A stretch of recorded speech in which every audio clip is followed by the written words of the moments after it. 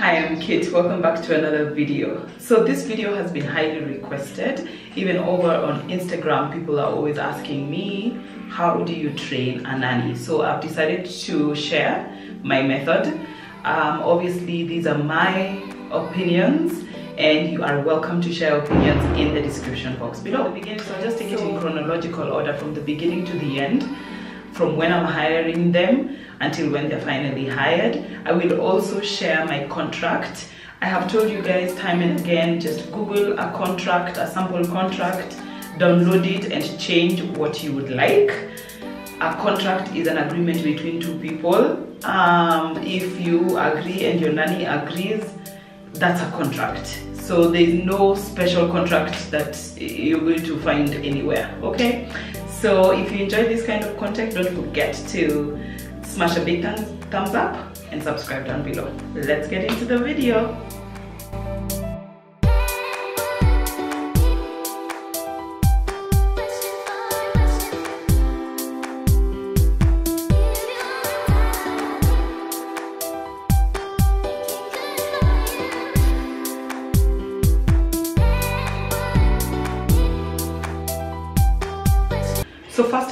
There are a few things to remember. Number one, being a nanny or a housekeeper is nobody's dream job. And especially in Kenya, people don't come up, little girls playing in the playground, and they're like, me when I grow up, I want to be a nanny. Me when I grow up, I want to be a housekeeper.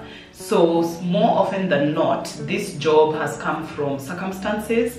They have no other prospects maybe because of their school education or family situation. You um the thing to remember is when they're coming into your house it's more often as a last resort. So it's not like that oh yes finally i got my dream job. Guys okay just look at it from that point of view. I think that will really bring out or take away a lot of entitlement that we as employers have because we expect people to be a certain way, to behave in a certain way, um, to be trained, and we ourselves are not doing the training. So I, don't know who we expect would have trained them, or maybe we just think that, you know, all women are good housekeepers and good nannies. It's not true. People, and then you, of course, as an employer, you are different from their previous employer and um, you just need to work out uh, a way to work that works for everybody. I know I've said work in that sentence maybe five times, but it is what it is. Okay, so that's number one.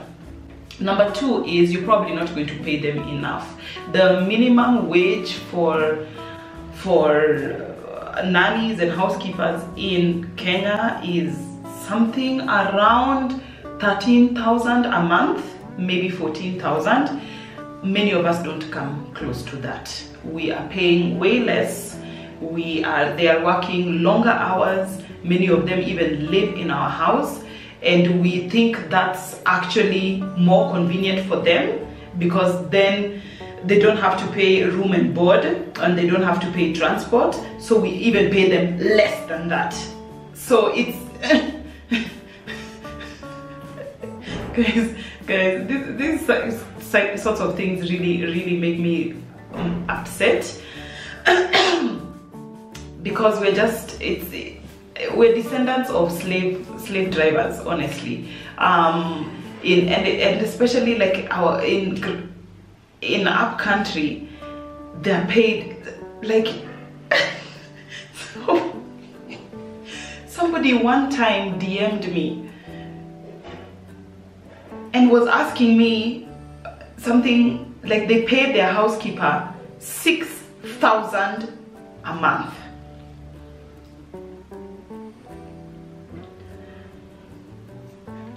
What? What do people do with 6,000 a month? What can you do? What can you do with 6,000? And I completely understand. I'm going to hold up my hands and say I completely understand that um, the person, the employer may not be able to afford more. But if you can, definitely try and meet the minimum wage, which is 13,000. And if you can, beat it. beat it. The cost of living in Nairobi is unacceptable and taxes are high. It's unacceptable. Um, that's number two. Number three, they are probably desperate for a job. Um, people have come and you know they say all these manner of things like yes i can do a b c d i can do that i can cook this i can cook that um, so they're looking for a job they would like to get any job because they they need to support their family um, a lot of people might only be might be their only breadwinner breadwinner so consider those three things um, just so that you can put yourself in their shoes and have a little bit of empathy. There's a lot of classist talk whereas where people say they oh me housekeepers I can't. You know they do this and they do that and they like as if all housekeepers are the same. Like as if they all come out from come, come from the same community the same place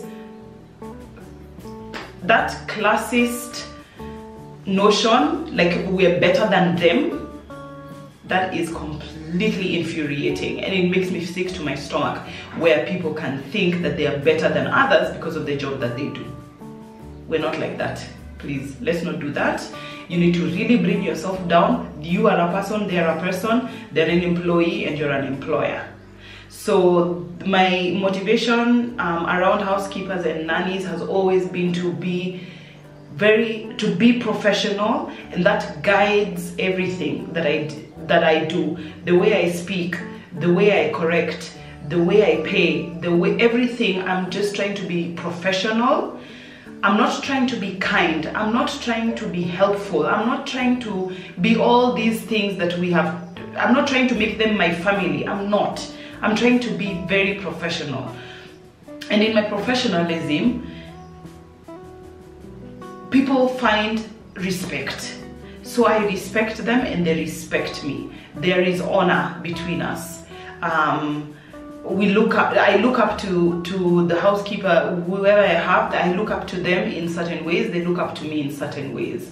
So there's that mutual respect. We are two different people doing two different jobs, but we are both working women. these are some of the questions that I find are really, really helpful when I am interviewing. So how I usually get um, a housekeeper is I put, uh, I ask people on my WhatsApp groups, church WhatsApp groups, school WhatsApp groups, hi guys, I live in such and such a place. I'm looking for a nanny and housekeeper. I always have to say a nanny and housekeeper so people know I have children. So I need somebody who is good with children, number one, and then good with the house, number two. Because if they're good with the house and they're not good with children, how are we helping each other? And it's the children I need the help with the most. So I put out, I need somebody who is, who lives near or around my area, uh, is the age i don't really put an age. Um, i think maybe sometimes i have no i've actually never put an age but some people prefer younger housekeepers. Some people prefer older housekeepers. So it's up to you. So you can put a starting age and a and the, like a maximum age. Um, some people even want to say unmarried. And I, I don't know for whatever reason but that's up to you for me it doesn't matter married or not married. It doesn't matter ethnic group completely. My plus has been if they are from my husband's ethnic group then they can teach my children kikuyu. Um, so that has been a plus i have i've only had one who is from my husband's ethnic group. I have never had any that's from my ethnic group um, which is Luo, it doesn't matter to me. It's the only thing that matters is your personality. Um, people give me the numbers of people who are looking for work. I call them up and I talk to them depending on how they sound on the phone. Don't trust your gut, guys. Trust your gut. Talk to somebody on the phone and then invite them to your house for an interview. Depending on how they sound on the phone, that's when I invite some over for an interview. So I only interview one person at a time because my interview lasts five days. And my interview is literally you come into my home, you do the work for a week. So when we're doing the interview, I tell you, um, okay so i'm really liking our rapport right now and i would like to continue the interview. So the interview is going to be five days. I am going to pay you i think i pay 500 or 600 shillings a day. Now i can't remember because it's ruth has been with me for so long. If you get the job i will still pay you for the week. If you don't get the job i will pay you for the week and sayonara. So people, they come into my house um, at around 8 in the morning and they leave by 4 in the afternoon every day for a week. And that's how they interview. They cook, they clean, they take care of the children. The reason I do it like this is because I am very, very cognizant of people can lie, people can put their best foot forward to get a job and during the interview interview process you have prepared for the interview. And because the work is physical and you literally have to do the work um, housekeeping and nannying it's very easy for people to yeah i can do this i can do that i can i have i have i have. And then you notice so during the week you notice this person doesn't take direction very well or this person is very good with planning a menu or this person um, doesn't like children. Or this but you know you notice all these little things and then you can make your decision at the end of the week. So what questions do i ask personally in the interview? Here are a few. Where have you worked before? Obviously. What were you doing there? How long did you go? How long did you work there? Why did you leave standard questions. Even if you go to an interview in an office, your employer is going to ask you why you're here. Why did you leave that job? Why do you blah, blah, blah. They will ask you all those questions. So ask all those questions and listen to the answer.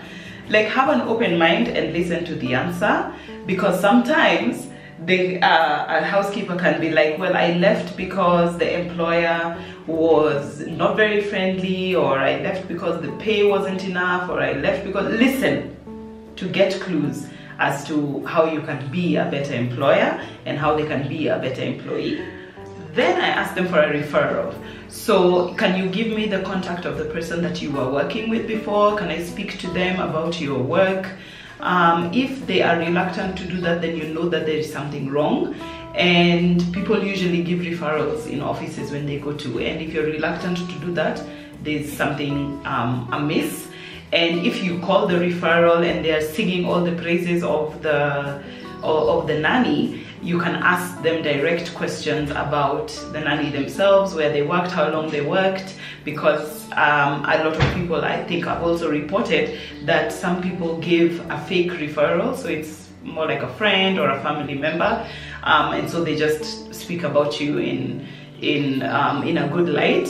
So you want to ask direct questions and leading questions so that you can find out if this is a, a genuine referral or not.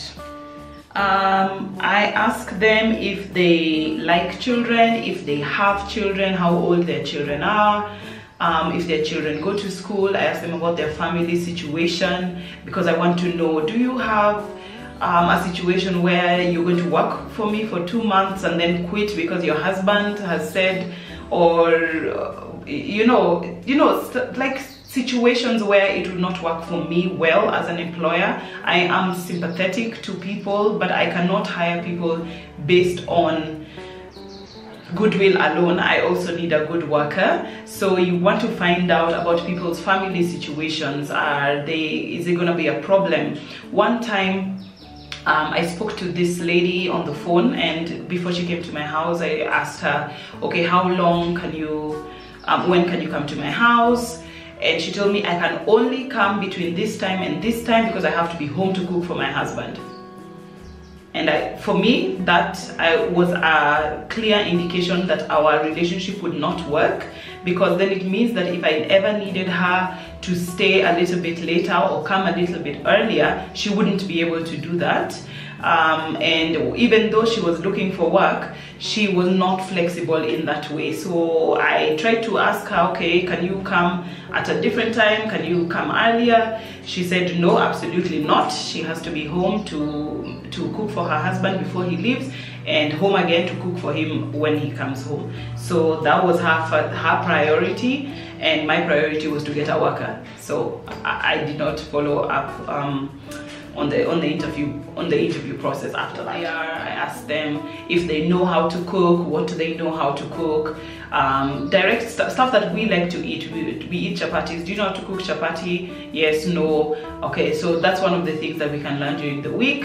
Um, and to see if there's certain things that you can teach them how to cook and how well they pick up in that week when you are training them. That's why that's why i interview for a week you guys because it's just like there's so many things that you can learn about a person in in five days that you might not be able to get from them in however long the interview takes uh, half an hour 10 minutes i don't know how long interviews take. Um, and then also they can the interview is usually with with the whole family is there my children are usually sitting in sometimes they're outside but sometimes they're there just to see how well this person relates to talking to me as they are being distracted by children or you know stuff the normal activity in the home. Because the home is the office and it's not sanitary. It is loud it is interrupting it is a lot of things so it's just to make sure, can this person juggle? Are they good with multitasking? Stuff like that. And the final question that I always ask them is, do you pray? Do you go to church? I don't really care where people go to church or um, how often if they go to church but I am a, a, a, spiritual person I do pray and because you're going to be working with my children I want to be able to know that I can trust that we are both covering them you know so to speak. I want us to be on the same page. We are covering them. We are praying for them. You I pray for your family. You pray for my family. Um, and as long as we are praying to God uh, we, we, are, we are okay. You know, it doesn't matter if you are Presbyterian, no, Presbyterian. Presby, pres, press,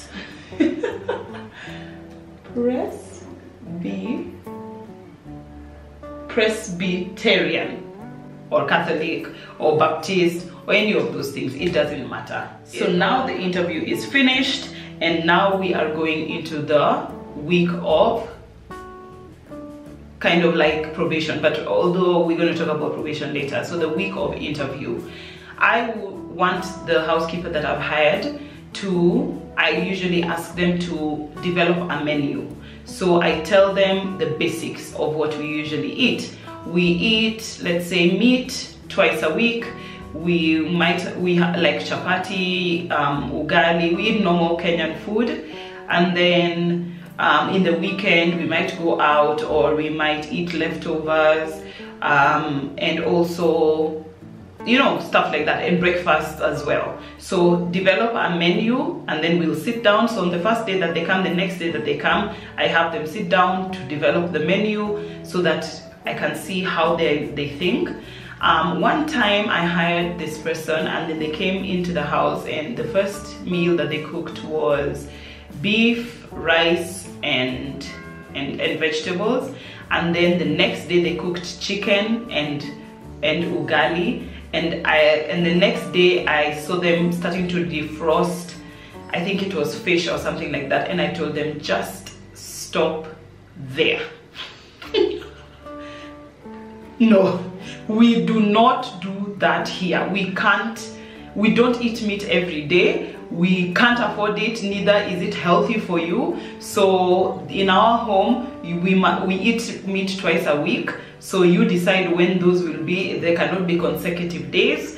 Um, so that was how you know you can you get to learn how somebody um, works. Another time I, I, I think I hadn't I was just about to go out for shopping and there was two packets of milk in the fridge and when I came home they were gone. So I asked her what happened to the milk? She said she made tea. And I'm like for who? Who did you make tea for with a liter of milk? So you see kind those are that's how you realize how people use groceries how people um, it's it's a very it saves you a lot of expense later because you're very quick to see because you are interviewing you're very quick to see how people use things how people are how people behave and do their work um, and you're able to correct sooner rather than before it's too late. And you you're at work and you don't realize that somebody is using a liter of milk to make two cups of tea every day I also ask them to design a work plan. So you cannot mop the house every single day. This is not a hospital. You can sweep every day, but you don't need to wash the toilets and the bathroom and uh, because I know there's a motivation to be really, really, really good and really, really clean as soon as you come into the job. And then you, so you just want to show how well you clean. Uh, but that is not in my home. That is not the priority. The priority is how well do you engage the children? How well do you play with them? Um, teach them, feed them, stuff like that. Um, and and Ruth came in when Keyo was I think, I don't think he was a year yet. Was he a year? Maybe just a year and a bit. So he was feeding himself and so I had to show her, look, this is where, you know, he sits don't force him to eat. If he doesn't want to eat it's okay if he doesn't eat the whole day. I have to say such things because i know that um, nannies could get carried away with a baby. The baby is not eating and the parent keeps asking why is this child eating why isn't this child eating? And you the nanny ends up force feeding the child which has ended tragically for many for many families. So those are some of the things that i kind of circumvent and I, I, I correct before even it starts because I just want the person to know, look, you're here to be a nanny number one, a housekeeper second. So I have them create the, the work plan and then to stick by it and to see if they get all the stuff done, windows, like they create it themselves. It's not me who tells them now mop, now do this, now do that uh, I'm not their manager, I'm their employer and they have to manage themselves. Also, I see how well they are managing the groceries in that if it's running low, they tell me before it runs out that that thing of such and such is finished is is ridiculous. You if if something that you are working with is finished, and then you say after it is finished then your job is actually interrupted and you cannot do your job well because the thing is finished. That's on you. That's your fault not mine. Because i i don't manage it. I don't look at it every single day. I'm busy doing this. Like you know shooting videos. So it's up to you to be like um, such and such is getting finished. We have two days with the sugar and we have blah blah blah with the rice um, and manage that. And don't let stuff gets spoiled in the fridge you know stuff like that. Okay so that's what I do to hire them and then to to train them. So now let's go into the contract. And by the way if you have any questions about what I have said in this video just write them in the description eh, write them in the comments below and I will answer as much as I can. So here is our contract that we signed between me and Ruth. Um, so when I was hiring her, I told her, I really, really like your work this week and I would like to have you full time. You, I'm going to give you three months probation where we see at the end of the three months if we would like to work together. I also asked her if she is um, happy with our family and if she would like to continue because it's not only one-sided i mean it's do you want to work here um, and yeah so she said yeah obviously and she's still here. So the i got a contract off the internet. I edited it and i will show you some of the parts in the contract. So the first part and, and I give them I give her the contract all the contracts that I've ever had. I give her the contract and ask her to go home with it and read it and um, if she has anybody that she can ask to ask them about it so that it's not something that she's doing out of duress. Like go home with it for a week you know read it send it to people see if you would like to change anything and then we go from there. There's a starting date and a completion date of the probation. So the probation oh, oh so she's been with us for a minute. Right. so the duties that she has are listed. So duties taking care of the children at home and other locations. So i can go i go out with her um, to parties or events or to my parents house if i need her. Um, and, and that's in the contract. Caring for the children in the family, including changing nappies, bathing, playing, and ensuring safety. So if she's not happy with any of those, she needs to say it right off the bat. She needs to speak to the children in English and Kikuyu exclusively with emphasis on helping them learn the language through storytelling. So she sings to the kids, she speaks to them in Kikuyu, um, she also speaks to them in Kiswahili um, outside and inside the house. So now the children are picking up a lot of Kikuyu, they know a lot more Kiswahili. Um, and mostly she speaks to them in English. She needs to do laundry, machine and hand wash, folding and hanging of the children's clothes, um, organizing children's toys and other things, and then coordinating and joining the joining the parents on outings with the children, cooking meals for the family, including writing grocery shop shopping lists, and then cleaning the house for the family. You write her basic salary there, and this can be increased. Payments for the salary will be made via M-Pesa or into a bank account or cash. And if you if I'm paying cash, I get there's a voucher that she signs. But other than that, the M-Pesa message is the record that we both have. Sometimes she asks for a loan or an advance and she has to do that in writing. So she does it in writing via text and then I respond and then I can send her the money. So the texts are our records. Then um, um, we made an amendment that I signed for because the first, I think it was the first month, the first two months, I noticed she was asking me for an advance before the date of payment because I said that I would pay her every month on the on the last day of the month. And I noticed that she was asking me for an advance on her next salary.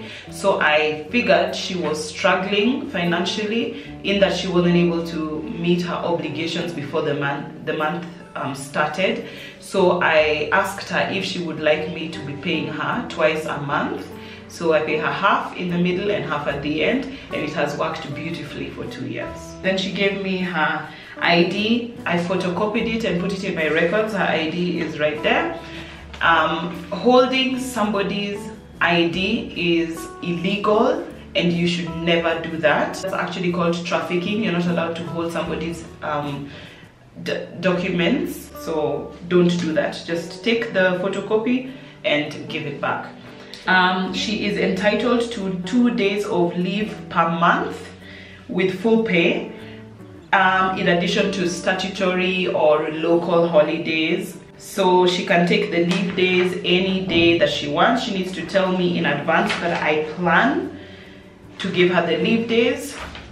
I think um, she usually tells me two to three days in advance and I'm happy to do that. She can also take four days sick leave with full pay and thereafter a maximum of another four days sick leave with half pay. So all these things are written down so that we both know nobody is nyanyasing the other. We are completely in agreement, we are completely compliant, we are both working well together. Yeah. So if I want to terminate the salary, I need to give her one month's notice or one month's salary. She is also obligated to give me one month's notice if she wants to leave or in lieu of one month salary if i need to if disciplinary disciplinary action needs to be taken then I can give her a warning. I need to give her a warning, verbal warning, written warning, and then another course of action is taken. Just have have a contract. My my main point is have a contract because it really really helps to create a professional work environment. And when you you create a professional work environment you create respect and honor between you and your employee. And then you are actually increasing the level of work. So the work um, the person might be untrained and the person might never have worked in a professional environment but you can introduce them to that and and and behave in a in an, a way that is dignifying and lifts people up up. Rather than you know calling people names derogatory names because they work for you in that capacity. Um, people feel that and people are few people. Like there's no need to to be like that okay? I really really hope you guys learned something and enjoyed this video. It, it has been requested a lot. And till next time bye